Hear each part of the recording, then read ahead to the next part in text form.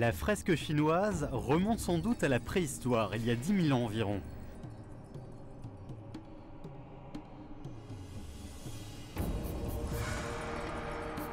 À l'époque, les gens représentaient sur des rochers des activités humaines et des symboles de la nature.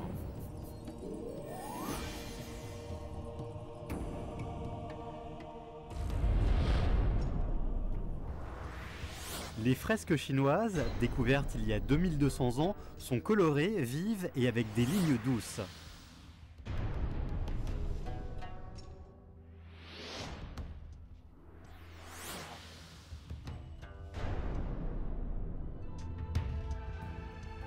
Selon une légende, un ancien peintre a reproduit sur le mur des dragons assez réalistes. Et lorsqu'il a peint les yeux, cela les a transformés en vrais dragons.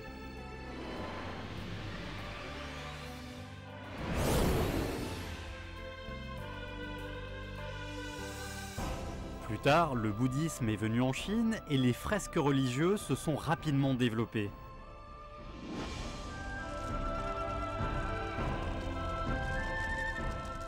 En Chine, le groupe des fresques des grottes de Dunhuang sont les plus célèbres.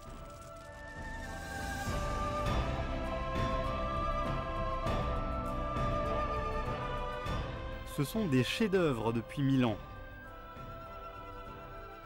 Ces fresques décrivent les religions, les récits historiques et les légendes. “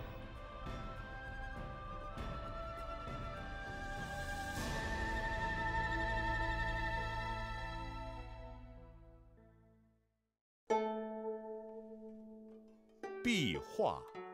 壁画。